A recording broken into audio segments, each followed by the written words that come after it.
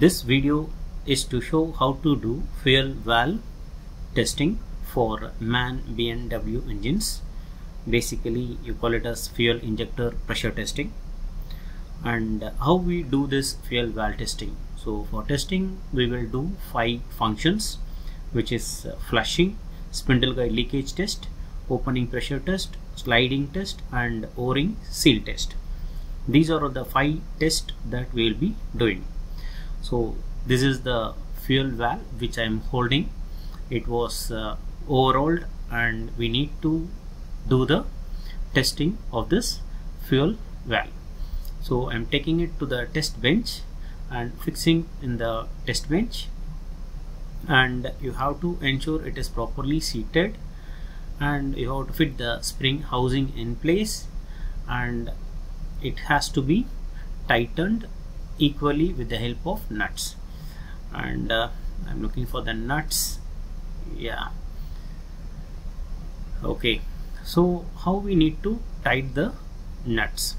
So once you are uh, tightening the nuts you have to see confirm the spring housing. It should not be damaged. You can see the spring inside you can see the pin inside the spring housing. That should not be damaged so that is one thing that you need to check before uh, mounting the spring housing. The pin should be in a good condition.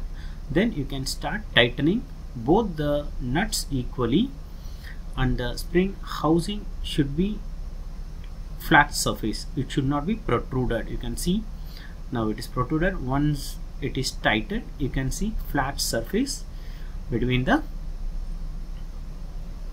housing seat so next we are uh, once you are fitted with the tightened the spring housing next thing that we need to do is you have to fit the fuel valve inlet pipe. So for this testing machine now I'm going to show how flat surface is. You can see this is the flat. Both should be on the same surface same surface. It should not be protruded up. So next is the inlet pipe. Fuel uh, for the testing machine. Tighten it properly.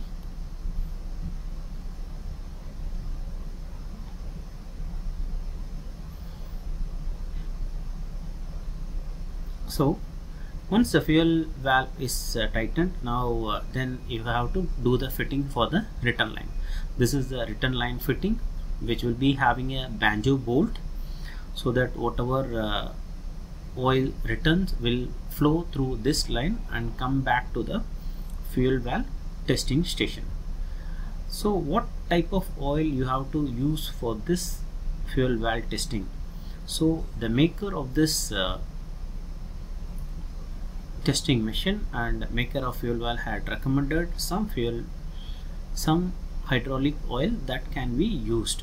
That is already stickered it is we are using Mobil DTE 10 XL15 this is the oil that we are using. This is the entire uh, station. I will make a separate video on this.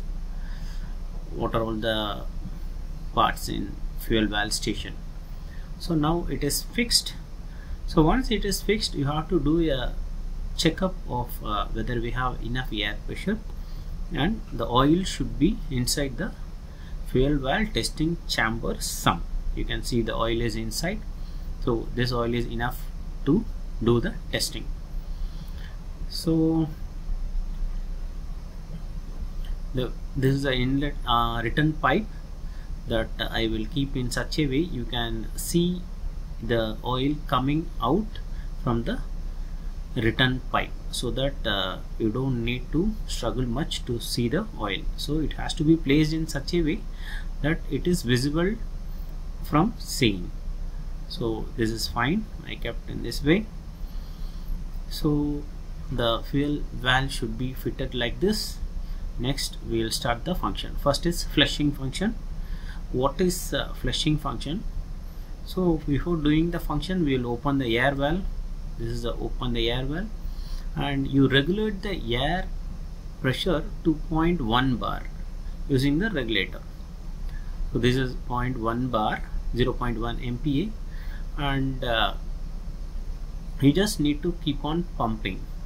So the idea is you have to get the return oil from the return pipe without any air bubbles. Now I will start doing the pumping and you can see how it actually looks when we are uh, doing the testing flushing. So this is the pump handle regulator handle I am pumping. And you can see the return oil coming out. You should see the return oil coming out. Um, once the return oil will start coming out once the fuel valve is completely filled with oil. Now you can see the oil coming and it is coming along with the air. So this is what I am telling. The oil should come out without any air now you can see the oil with air. This should not be there.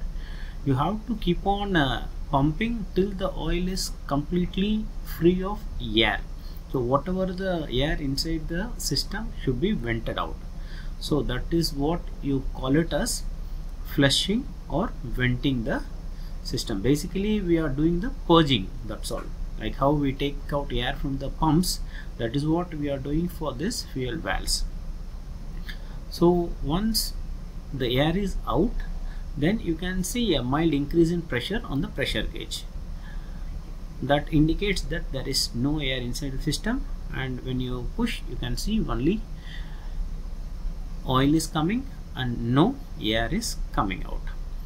So this is what you call it as flushing function. So this is the first thing that you need to do. I'll show you one more time. You can see the oil coming out without any air in the line. So this is fine. So this is the first function. Okay. So next we'll go for the second function. We are done with this uh, first function test. It is perfectly all right. So we will be doing the second function. Function test is uh, opening pressure test. So actually what we need to do for this fuel valve is we will check at what pressure the injection is happening. So usually what uh, I used to do is I increase the air pressure to around 0.3 bar and I don't keep it at 0.6 bar usually. I will show you both the way. You can understand. So first I will show by keeping the by regulating the pressure to around 0.3 bar means 3 bar. So now once I uh, kept the air pressure in 3 bar and I regulate the or I use the pump and now at 3 bar the fuel oil pressure you can see 3 to 4 bar you can see the fuel oil pressure at what pressure it is dropping. That means injection is opening is happening. So if you uh, now I am raising the fuel uh, air bar pressure to 6 bar. So when it happens you cannot see the exact point of opening. It will happen in seconds. So you cannot uh, exactly point out at what pressure the fuel valve is opening. So now again I will be showing you just increase the pressure to around 3 to 3 bar 3 to 4 bar and start the pump. Once the pump reaches pressure 200 bar you slowly regulate the air pressure. You can perfectly see at what pressure the fuel valve is opening. So and if you keep at 6 bar it will be a little uh, uh, hick to check the opening pressure. You can see this uh, this is how this is the opening pressure of this fuel valve. So I will show you one more time. And in this what all things you need to check is you have to ensure from all the holes oil is delivered. And you have to keep the torch on one side and you can observe the nozzle. I'll clean the plate and clean the glass and uh, show it one more time so just regulate do the pumping and you can see the fuel valve opens at the pressure. Getting it little bit closer. Yeah it's already opened. So I will uh, focus a light and I will make it one more time so that you can have a clear-cut idea. So slowly increase the pressure and you can you have to be very keen while watching this fuel opening time so that you can concentrate on all the holes are getting oil or not. That's all. So all the oil all the nozzles means nozzle hole or getting oil. So that means the fuel valve nozzle is okay. And this is how you have to test the opening pressure of uh, fuel valve. Uh, two ways either you can take it directly to 6 bar pressure and uh, test the opening pressure. If not you can keep the air pressure to 3 bar. And once the pressure increases to 200 bar inside the fuel valve you can regulate the air pressure to increase the fuel valve pressure. And the fuel valve exactly opens at some point which is called as opening pressure. And it will be easy also. So we are done with uh, two functions. One is our uh, flushing. The second is opening pressure. So next test will be spindle guide seal test. So how to do this test? So very simple. All you need to do is if your opening pressure of the fuel valve is say 300 you have to keep the pressure 100 bar less. So take the fuel oil pressure to 200 and keep that pressure steady. And at that pressure you should not find any leakage of oil from the fuel nozzle. Now you can see there is no oil leakage from the nozzle. The return line oil flowing is common that will that is not a problem. It is common only. But if there is any leakage coming from the nozzle that means spindle guide is having some sealing issue. So you have to open and check it. So very simple. With the maximum with the with the opening pressure mentioned opening pressure build up the pressure less than if it is 300 take the pressure to 200 next will be the slide test.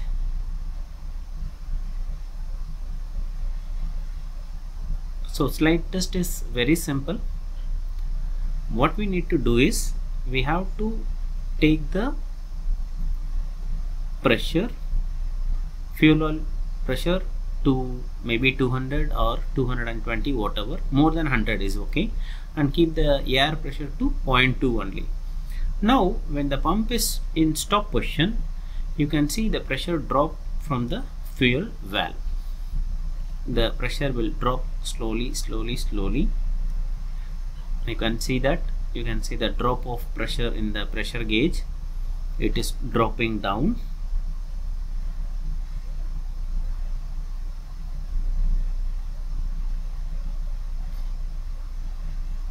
once it drops down can see the pressure is dropping. It is dropping down. When it reaches 10 bar 10 to 0 bar it will go very quick. That means your slide valve is working functioning. Yeah this is what the slide test. That means your slide valve is functioning perfect. Okay so this is called slide function test we will uh, show you one more time. Increase the fuel oil pressure and uh, stop it stop the pump. Then the pressure will start reducing. Once the pressure start reducing it will reduce very gradually. And when it reaches to 10 bar from 10 to 0 bar it will go very quick. That means the slide valve is functioning it shows it is functioning and not sticking. If it is not you can see a 10 to 0 will be very fast. That's all. So this is what you call it as slide function test. Next will be o-ring seal test. So what is o-ring seal test? O-ring seal test is very simple. All you need to do is you have to pressurize the fuel valve. The fuel valve should be pressurized that means you can confirm by the oil which is flowing out from the return pipe. The oil is flowing out you can see yeah that means the oil is the fuel valve is pressurized. So next thing what we need to do is you have to block the return pipe. That means you have to open dismantle the outlet line which I am doing now. Just uh, open it and you have to plug the return line. MAN B&W has provided a special tool for plugging this non-return line. This is the tool that uh, we need to this is the fitting that we use to plug it. So just plug it and tighten the screw tighten the nut I'm doing now.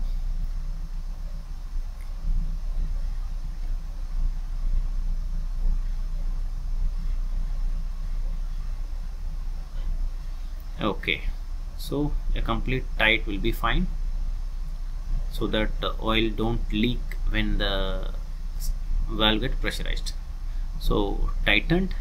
Now what we need to do is you have to increase the pressure to air bar keep it around 1 bar to 1.5 bar and give the increase in pressure inside the fuel valve.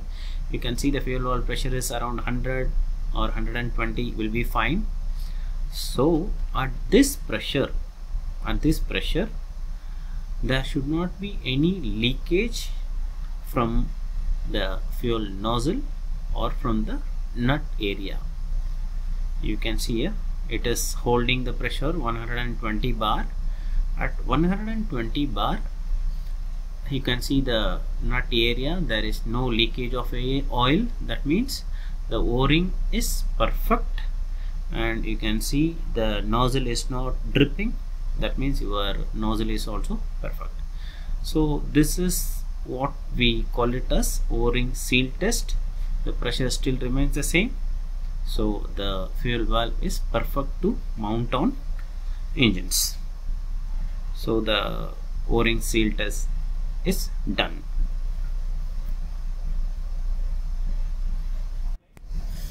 I believe uh, after watching this video you must have got some idea about uh, how to do fuel valve testing for MAN B&W engines. Very simple, you just need to check all the five functions before you install the fuel valve in place. So as I said, first will be do the flushing, second do the opening pressure test, third do the spindle guide seal test fourth do the slide function test and finally you do the o-ring seal test so all these tests should be completed and uh, after the test result find satisfied then you can install fuel valve for operation. Thank you all for supporting. Thanks for watching. If you have any doubts please put in comment box. Definitely I will reply you. If not you can whatsapp me directly. I can reply you on my uh, whatsapp number. Thanks for watching. Thank you all. Keep supporting. Bye guys